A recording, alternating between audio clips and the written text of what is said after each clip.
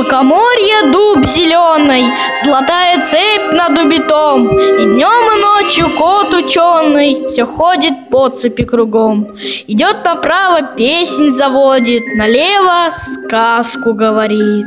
Вот мудрец перед Дадоном Встал и вынул из мешка Золотого петушка Посади ты эту птицу Молвил он царю на спицу Петушок мой золотой Будет верный сторож твой. Коль кругом все будет мирно Так сидеть он будет смирно Приплыла к нему рыбка, спросила, «Чего тебе надобно, старче?» Ей старик с поклоном отвечает, «Смилуйся, государыня рыбка, что мне делать с проклятую бабой?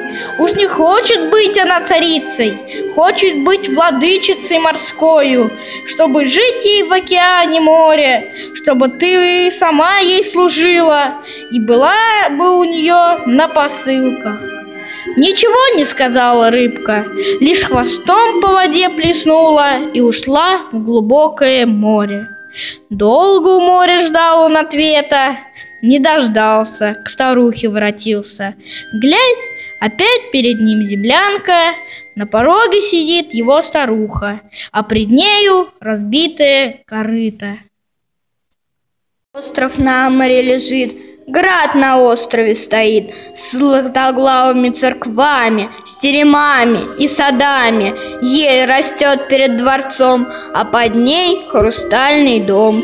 Белка в нем живет ручная, да чудесница какая. Белка песенки поет, да орешки все грызет.